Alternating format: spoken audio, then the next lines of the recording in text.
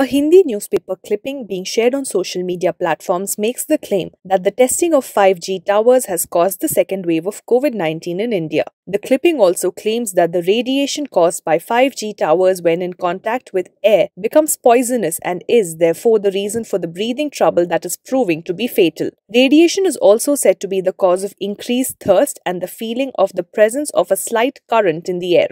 Before we fact check these claims, let us understand what 5G towers and 5G testing are.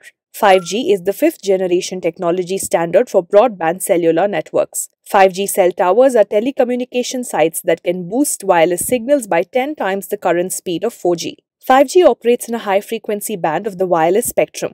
These are functionally different from 3G, 4G, and LTE towers because the hardware emits higher frequency radio waves that are much shorter in length. These are essentially harmless. 5G technology is in its nascent stages and is yet to be launched in India at full potential. As for 5G trials or testing, three private players, Reliance Jio, Bharti Airtel, and Vodafone Idea, have been imploring the Department of Telecommunications to lay out a clear pathway for 5G trials. On 4th May 2021, the department issued a press release granting permission to these telecom service providers to start 5G trials in different locations across the country, including rural, semi urban, and urban areas. So, there were no 5G trials in India in February 2021 when India was at the beginning of the second wave of COVID 19. Also, there is no scientific evidence to prove that radiation caused by 5G technology can cause COVID 19 cases or deaths. In fact, the World Health Organization has confirmed that viruses cannot travel on radio waves or mobile networks and that COVID 19 is spreading in many countries that do not even have 5G mobile networks.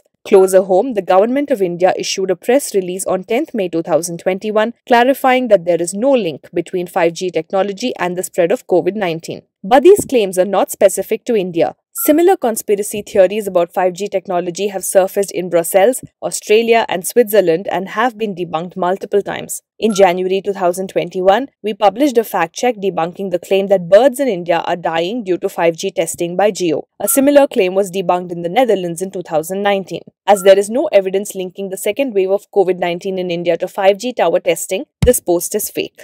When you come across a piece of news that seems too ridiculous to be true, don't leave things to doubt.